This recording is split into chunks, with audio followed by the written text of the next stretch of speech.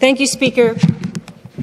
I'm honoured to rise in the House today and speak on behalf of all families, especially mothers, on Bill 33, Maternal Mental Health Day Act 2022. As many in this House will remember, in the previous parliamentary session, I introduced Bill 176, the Maternal Mental Health Day Act 2021, which was unfortunately voted down by members of the Conservative government and failed to pass second reading. The government has a second opportunity today to support this bill and correct their mistake. But before I go any further, I want to take a step back and remind the House how it all began. In November, 20, in November 2019, just months before the pandemic began, I stood in this House with my newborn in my arms and spoke about maternal mental health. Speaker, my statement went viral. It received over 4 million views and almost 60,000 shares on Facebook alone. On TikTok, it was almost at half a million views, over a million on Instagram, etc. The reason I share this is to say that this issue resonated with people, with mothers in particular. I've also received countless messages from moms and moms to be who shared their experiences of postpartum depression, anxiety, and other mental health disorders. Many mothers suffer in silence without access to mental health care or the social supports they need. The fear of being labeled as an incapable parent, of falling short because, the, because of the unrealistic expectations for mothers and women, often prevent us from seeking help. Sadly, our society leaves new mothers struggling in isolation, with the assumption that it is all natural to manage on their own. When some mothers do seek help, it is difficult to navigate the system to get the right supports. And frankly, what they do find is lacking. Despite the high prevalence of maternal mental health disorders and their serious and lasting impacts on mothers, maternal mental health is overlooked as an issue. It is an issue that impacts parents of every culture, age, income level, race, gender, and ability. However, I'm using the term maternal mental health disorders because mothers are overwhelmingly the largest group affected. Maternal mental health issues are not uncommon. Up to one in five mothers in Ontario experience some type of maternal mental health disorder. These disorders include postpartum depression, anxiety, postpartum stress disorder, obsessive compulsive disorder, bipolar disorder, and psychosis. The difficulties posed by these disorders cannot be overstated. If left untreated, they can lead to devastating outcomes such as prolonged parental depression, partner conflict, weakened attachment between mother and child, and increased risk of impaired child development. Maternal mental health disorders also increase the risk of obstetric and neonatal complications and can affect the entire family. In rare cases, these disorders can even lead to maternal suicide and infanticide. Sadly, Flora Babakani from Toronto was a mother who died by suicide last year. Flora's lifelong dream was to be a mother. At 44 years old, after years of fertility treatments, Flora finally became pregnant. Her sister Mimi shares that Flora was very anxious throughout her pregnancy and would often call her, concerned about the health of her baby. Flora was deemed high risk due to diabetes and will call the hospital weekly for ultrasounds to ensure that everything was okay. Mimi wishes Flora had received help for her anxiety during her pregnancy. Flora couldn't believe it when she gave birth to a healthy baby girl, Amber. She was on cloud nine and very happy. When Flora didn't return Mimi's calls, Mimi thought Flora was busy being a new mom, but later learned that Flora was suffering from severe edema and needed to stay at the hospital for treatment. Mimi thought Flora was upset due to the physical struggle she was experiencing and hoped that Flora would feel better emotionally once her edema was under control. Looking back on it now, however, a lot of it was probably due to her mental health. Flora was never diagnosed or given medication, and the pandemic only exacerbated her isolation. Flora's family tried to get her help, and she was so close to receiving it. However, it was too late.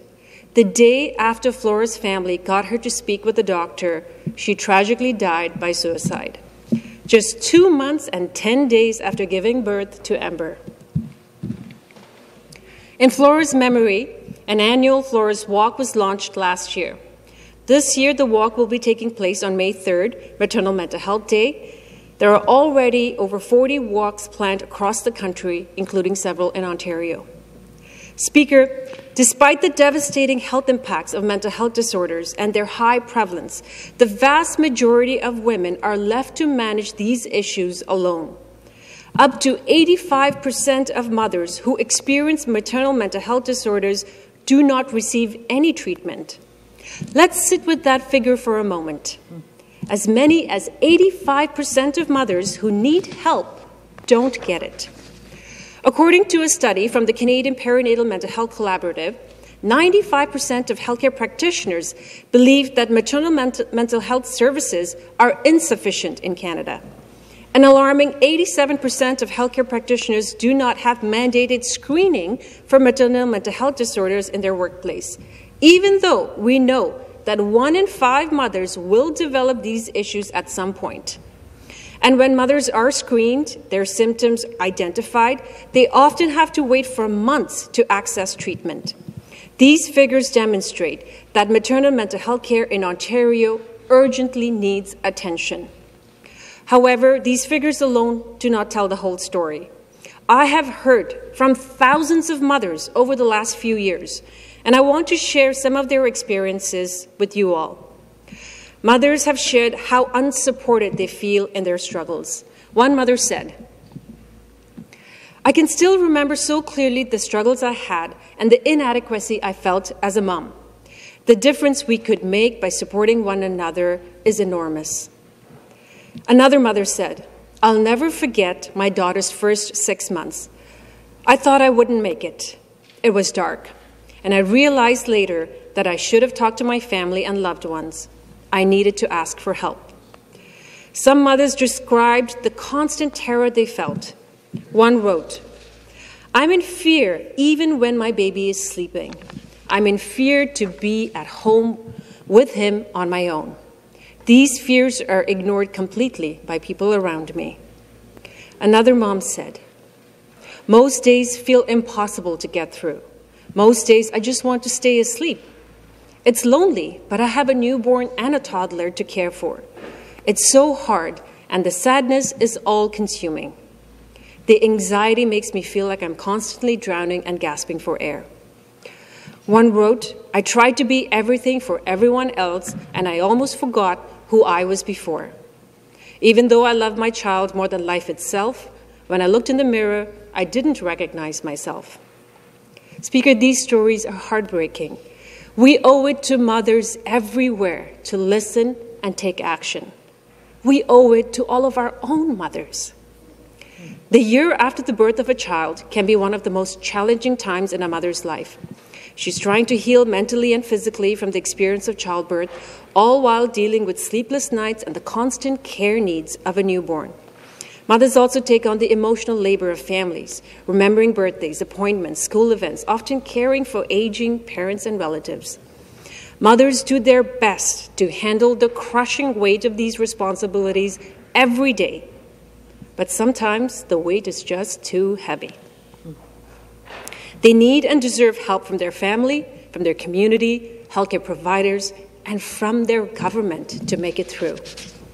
Speaker, as I stated at the start, during the last session, the government voted down Bill 176, which proposed two important measures. First, to proclaim the first Wednesday of May of each year as Maternal Mental Health Day to raise awareness on this issue and address the stigma around it. Second, to bring forward concrete solutions to improve maternal mental health, which included a comprehensive review of maternal mental health in Ontario and to prepare a provincial framework and action plan on the issue. Unfortunately, the government did not support the second measure. So, let's try again. one step at a time. I am urging the government to take a small step and proclaim the first Wednesday of May of each year as Maternal Mental Health Day to raise awareness on this issue. This will also demonstrate the government's acknowledgement of the importance of maternal mental health, a matter that is overlooked and requiring action. By taking this first but important step, we leave the door open for more meaningful action on this issue in the future. Speaker, mothers have one of the most rewarding jobs in the world, but it is also one of the toughest. Unfortunately, we tend to forget this, especially when a child is first born. And we assume that mothers should be happy all the time. It takes a village to raise a child, and this village includes not only our partners, family, and friends, but also our healthcare system.